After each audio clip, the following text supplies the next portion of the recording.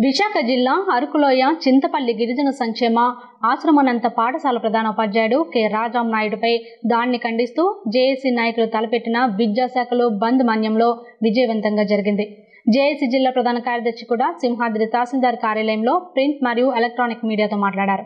చింతపల్లి మండలం Lothugadda tribal welfare awesome పాఠశాల ప్రధానోపాధ్యాయుడిపై దాడి చేయడం అన్యాయమని గిరిజన ప్రాంతాల్లో జీవనోపాధికే వలస వచ్చిన గిరిజనేతలు గిరిజనులపై దాడికి దిగడం అన్యాయమని దాడికి దిగిన గిరిజనేతరులపై ఎస్సీ ఎస్టీ అట్రాసిటీ కేసు నమోదు చేయాలని ఇటువంటి వ్యక్తులపై కేసులు నమోదు చేయకపోవడంతో గిరిజనేతలు హద్దులు దాడుతున్నారని ఏజెన్సీ ప్రాంతంలో చట్టాలు పటిష్టంగా అమలు చేసే విధంగా ప్రజాప్రతినిధులు అధికారులు చర్యలు తీసుకోవాలని ప్రధానంగా ఒకటి బై డెబ్బై చట్టం పటిష్టపరచాలని విద్యార్థులు భారీ ర్యాలీ నిర్వహించడం జరిగింది.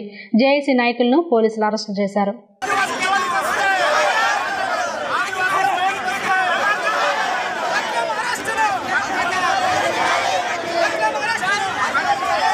మేము ఈరోజు ప్రధానంగా మరి ఏజెన్సీ వ్యాప్తంగా మరి బంధు ఎందుకు ప్రకటించామంటే చింతపల్లి మండలం లోతుగడ్డ మా ట్రైబల్ ప్రధానోపాధ్యాయులపై అక్కడ అన్నవరం చెందినటువంటి చిన్నేసు అలాగే బండార్ రాజు అనే ఇద్దరు గిరిజనేతరులు మరి హెచ్ఎంపై దాడి చేయడం జరిగింది. దాడి చేసి అత్యాయత్నం చేయడం కూడా రక్తం వచ్చినట్టుగా వాళ్ళు కొట్టడం జరిగింది.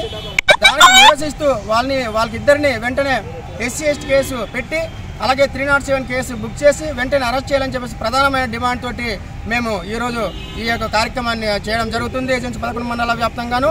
ఆ దాంట్లో భాగంగా మేము ఒకటి ప్రధానంగా డిమాండ్ చేస్తున్నాం. మరి వెంటనే ఆ ఇద్దరిని అరెస్ట్ చేయాలి. అరెస్ట్ చేయ చేయని ఎడలా భవిష్యత్తులో అన్ని ఉద్యోగ సంఘాలు విద్యార్థి సంఘాలు ప్రజా సంఘాలు అన్ని కలిపి మరొక భారీ స్థాయి ఉద్యమం చేయడం కూడా వెనుకడం రాజ్యాంగబద్ధంగా ఆదివాసులకు ఉన్నటువంటి మరి వన్ ఆఫ్ సెవెంటీ చట్టము జియో నెంబర్ త్రీ కోసము అలాగే పైసా యాక్ట్ ఇవన్నీ ప్రభుత్వమే మరి రాజ్యాంగం కల్పించింది. దానికి పటిష్టంగా అమలు చేయాలని చెప్పేసి మేము ప్రధానంగా మేము డిమాండ్ చేస్తున్నాం. అది మేము కొంతమ కోరికలు కోరడం లేదు. మాకున్నటువంటి చట్టాల్ని పటిష్టంగా అమలు చేయని మా మాత్రమే మేము మన శాంతియుతంగా మేము ప్రభుత్వాల దృష్టిలో మేము నిరసన తెలియజేస్తున్నాం. కనుక ప్రభుత్వాలు వెంటనే స్పందించి మాకున్న హక్కుల చట్టాలను ప్రొటెక్ట్ చేయని చేయవలసిన బాధ్యత మరి ప్రభుత్వాల మీద ఉందని చెప్పేసి ప్రధానంగా తెలియజేస్తున్నాం.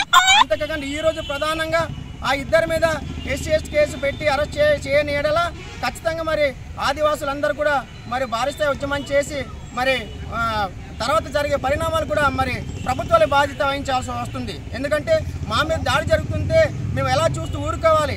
మేము ఎలా చూస్తూ ఊరుకోవాలని మేము ప్రభుత్వాన్ని మేము అడుగుతున్నాం. మీరు మాకు ప్రొటెక్షన్ చేయాలి. ప్రభుత్వాలు ఆదివాసులకు ప్రొటెక్షన్ చేయాలి. మాకున్న చట్టాలను రక్షించాలి.